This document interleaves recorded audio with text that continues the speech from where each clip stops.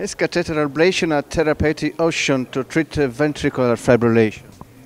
As I discussed yesterday in my talk, uh, there are some cases of ventricular fibrillation that are triggered from one, one spot. And if you can recognize this condition, you can effectively eliminate the trigger with catheter ablation. But these cases are relatively rare, and these are idiopathic cases which we see once in a few years maybe. There are more frequent cases after myocardial infarction where it's also triggered from one area uh, within the scar or within the necrosis after infarction.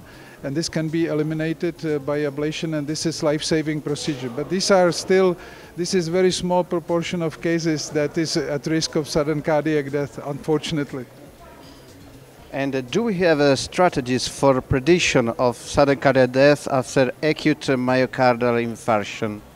Well, this is the whole science about this because uh, back in uh, 80s uh, there was a very high mortality after myocardial infarction and then uh, scientists recognized that low ejection fraction and number of ectopic beats uh, identifies patients at high risk.